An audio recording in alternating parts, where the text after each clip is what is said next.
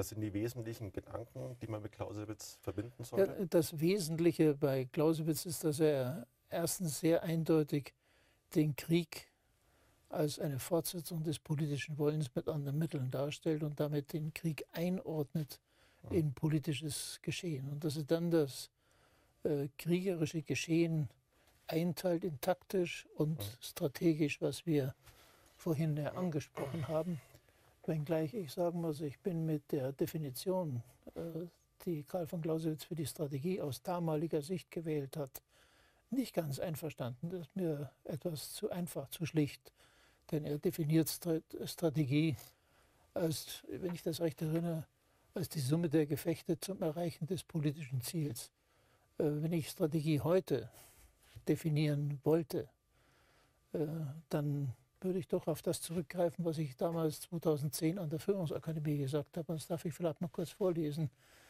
Strategie ist die geplante, zielgerechte Bereitstellung und koordinierte Anwendung aller politischen, diplomatischen, wirtschaftlichen, technologischen und wissenschaftlichen Kräfte eines Staates oder eines Bündnisses und der diesen Vorgaben entsprechende Einsatz seiner Sicherheitsorgane, also nicht Streitkräfte, Sicherheitsorgane, zur Durchsetzung seiner politischen Ziele in Frieden, Krise und Krieg.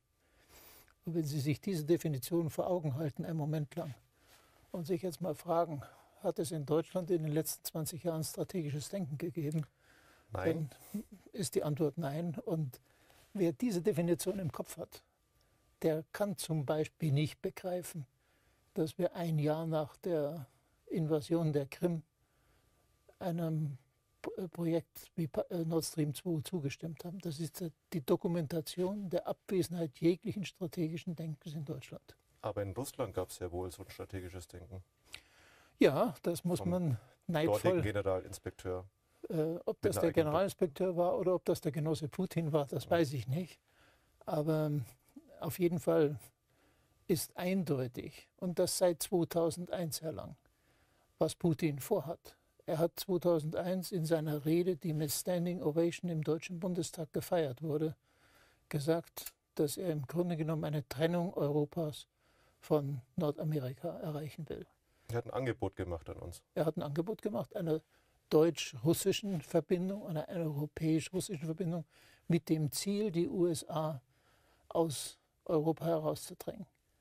Äh, das ist Dividet Impera in strategische Kategorien übersetzt, dass Deutsche dazu jubeln konnten, wissen, dass wir der einzige Staat der Welt sind, der abhängig ist vom nuklearen Schutz der Vereinigten Staaten von Amerika, weil wir auf den Besitz von Atomwaffen verzichtet haben, völkerrechtlich verbindlich verzichtet haben. Wie man dazu jubeln kann, verstehe ich nicht, aber ich bin halt auch kein Abgeordneter.